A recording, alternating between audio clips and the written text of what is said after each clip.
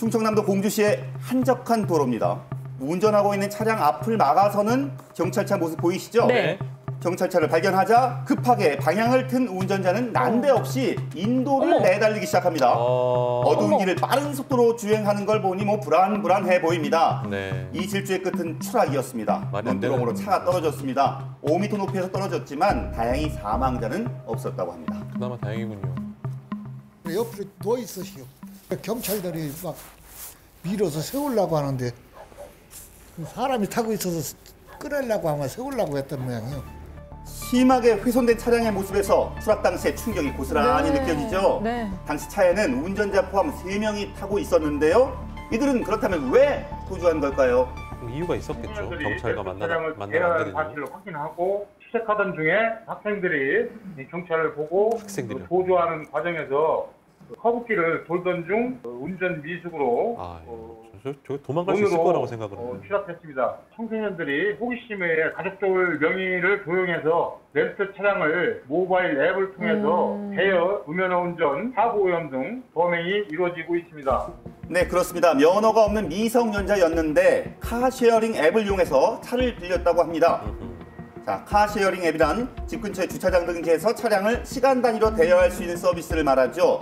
비대면으로 차량을 갖고 갈 수 있어서 기존의 대면 렌트 방식을 이용할 수 없는 학생들의 표적이 된 겁니다. 아, 자, 이렇게 앱으로 차량을 렌트하려면 몇 단계 신분 확인 절차가 있거든요. 네. 네, 하지만 부모님 신분을 도용해서 음. 승인을 받을 수가 있었고요. 남은 절차 또한 간단한 사진으로 통과를 했습니다. 그렇군요. 차량의 기본 조작 또한 뭐 앱으로 가능하거든요. 음. 그렇기 때문에 손쉽게 차량을 빌릴 수가 있었고요. 또 운전할 수 있었던 겁니다. 음, 더 까다롭게 해야겠네요. 미성년자가 어, 면허증이 없는 상태에서 운전을 한 부분이기 때문에 무면허 운전으로 처벌이 되게 돼 있습니다. 인사사고나 대물사고 난 경우에 별도의 특가 규정이 있기 때문에 처벌이 한 두 배 정도 올라가게 돼 있고요. 주민등록증을 허위로 제시를 해서 어, 이걸 하- 어, 사- 차를 빌린 거기 때문에 이 공정 문서 또는 공정 증서를 허위로 제출한 제목이 죄가 또 많네요. 추가될 수 있습니다. 인적이 드문 새벽 5시경 서울의 한 무인 매장으로 한 남성이 들어옵니다. 매장 계산대 쪽을 훑어보던 남성은 갖고 온 가방을 바닥에 내려놓고 그리고는 가방에서 쇠 막대기를 꺼내듭니다. 자, 이 쇠 막대기를 금고의 틈에 꽂아 넣고 힘주어 젖혀버리는 남성. 아이고. 몇 번 움직이지도 않았는데 금고의 문은 맥없이 탁 열려버리고요. 금고의 어느 부분을 공략해야 하는지 잘 알고 있는 듯합니다. 어. 전문가네. 또 현금을 꺼내서 망설임 없이 가방에 챙기는 남성 아주 자연스럽게. 너무 자연스럽죠. 네. 자 그런데 이 가방 안을 좀 살펴보니까 이미 현금이 좀 들어있는 모습이 보이시나요? 아. 그렇죠. 범행이 처음이 아닌 듯 합니다. 네. 그렇게 남성은요 정말 1분 만에 현금을 털어갔습니다. 문도 예쁘게 닫고 갔어. 자 그런데 한 시간 뒤에 같은 지역의 또 다른 무인 매장입니다. 흰색 모자를 쓴 같은 인상착의 남성이 이곳에서 나타났습니다. 그 네. 사람인 것 같은데. CCTV도 두렵지 않은지 옷차림에 변화가 없지요. 네. 매우 자연스럽고. 예, 정말 혹시나가 역시나였나요? 금고를 털 준비를 시작하는 남성 역시 쇠 막대기를 들고 다시 한번 무인 계산기에 금고를 공략합니다. 이야. 이 금고 역시도요 남성의 손놀림 몇 번에 그냥 열려버렸고요. 네. 남성은 거침없는 손길로 이 현금들을 모두 챙깁니다. 한두 번 연습- 한게 아니네. 연습 많이 네 했다. 그렇습니다. 이 하룻밤에 무인 매장 여러 곳을 돌며 태연하게 현금을 훔친 이 남성은 알고 보니 10대 청소년이었습니다. 10대요? 아. 예. 3인 1조로 다니면서 활동했던 이 청소년들은요. 네. 한 달이 안 되는 기간 동안에 무려 40여 곳의 무인 와. 매장을 털었다고 합니다. 이 친구들이 참 이거 왜 이럴까? 대담하죠? 아유. 거짓돈을 이렇게 꽉 채워놓거든요. 천 원짜리를. 아 어린 친구들. 그거를 다 가져가서 최소 한 40, 50은 되지 그러면 않을까. 두 명이 음, 불구속이고 한 보시니까. 명이 구속인데 그 한 명 부모님이 그냥 그 합의 같은 거 없다고 처벌하라고 했다고 그래서 아마 보상을 아. 못 받을 거라고. 아.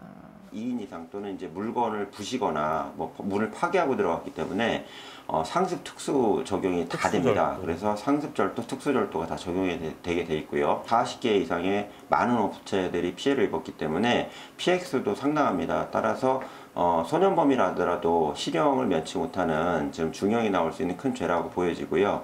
처벌 과정에서 부모가 합의를 하지 않겠다는 경우에는 형사보상 피해는 받을 길이 없거든요. 이런 경우에는 미성년자에 대한 보호 책임이 부모님에게 있기 때문에 이분들을 대상으로 별도의 민사상의 손해배상 청구가 가능하고요. 그걸 통해서 피해 구제를 받아야 된다고 생각합니다. 오래 걸리겠네.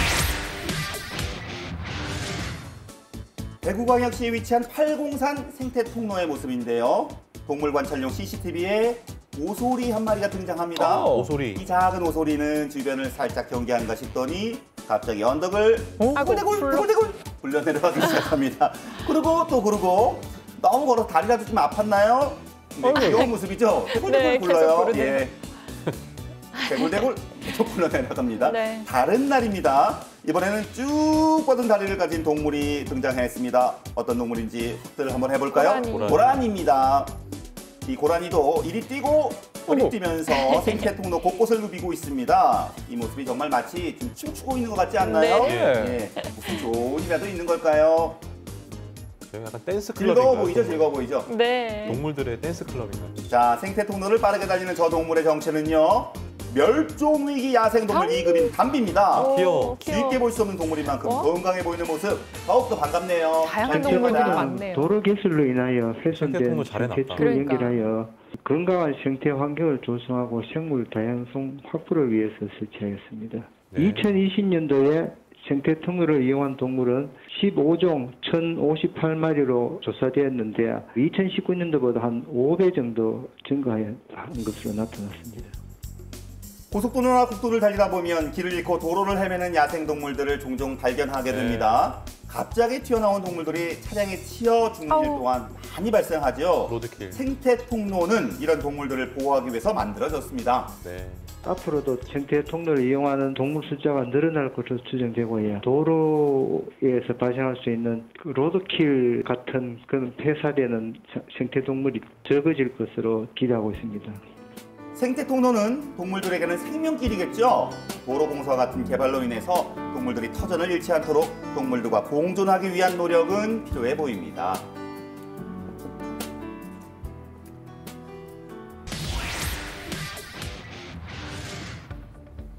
지난 5일 경기도 파주시에서 찍힌 블랙박스 영상인데요. 혹시 지금 보이시나요? 육교 밑에 도로 한복판에 사람이 누워 있는 모습. 어. 예. 어찌된 영문인지 당시 현장에 있었던 사람을 찾아가 봤습니다. 출근하는 길이 이쪽이 이쪽이어서 이렇게 차를 타고 오는데 이쯤에서 이제 그분이 이렇게 팔을 뻗는 게 보였고 어 떨어지겠는데 했는데 그대로 바로 추락을 하시더라고요. 네, 사건 당시 출근 중이던 이인우 소방관은요 우연히 육교에서 추락하는 남성을 목격하자 곧바로 남성의 상태를 살피러 다가갔습니다. 발을 헛디뎌서 육교에서 떨어진 남성 의식은 있었는데 예. 높은 곳에서 떨어졌잖아요. 어이구. 빠른 응급 조치가 무엇보다도 중요했고요. 어. 도로 위여서. 어이구. 네, 이렇게 재빨리 응급 처치를 한 이인우 소방관은 구급차가 올 때까지 자리를 지킨 이 소방관 덕분에 남성은 무사히 아유, 병원으로 이송됐고요. 건강을 회복 중에 있다고 합니다. 네. 정말 다행이죠. 네. 어, 환자가 추락하면서 바닥에 엎드려 있는 상태였는데요. 어, 호흡곤란 증세가 있어서 환자를 빠른 1차 외상평가를 실시하고 그 팔다리 골절이 확인되고 바로 그 환자를 호흡할 수 있게끔 반드시. 일단 환자 생명이 우선이었기 때문에요. 어, 지나가시는 시- 시민분들한테 그 차 정리를 좀 부탁드리고 바로 현장 응급처치를 할 수 있었습니다. 항상 현장이 벌어진 상태에서 출동을 했었는데 눈앞에서 상황이 벌어지다 보니까 약간 좀 겁은 났었는데 뭐 저희는 뭐 제복을 입든 안 입든 간에 소방관이라는 자긍심이 있기 때문에 바로 달려들 수 있었습니다.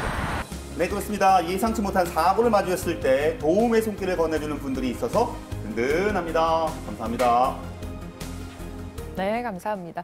그 생태 통로에서 자유분방한 동물들 음. 모습 보니까 참 귀엽고 반가운데 로드킬 당하는 동물들이 아직도 많이 있나요? 환경부 통계에 따르면 네. 그 작년 상반기에 로드킬 발생이 6,600이었어요. 그러니까 하루에 한 많아요? 30건 정도가 아이고, 아이고. 발생을 한다고 합니다. 예. 우리가 이제 도로에서 보면 이렇게 그 동물을 마주했을 때 밝은 전조등을 켜게 되면 네.